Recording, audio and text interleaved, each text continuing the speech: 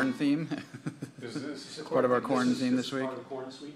This is uh, Calico's Corn. I learned it from uh, playing it Gary Harrison, who learned it from Gib, uh, Gib, uh, Gib, uh, you want this information.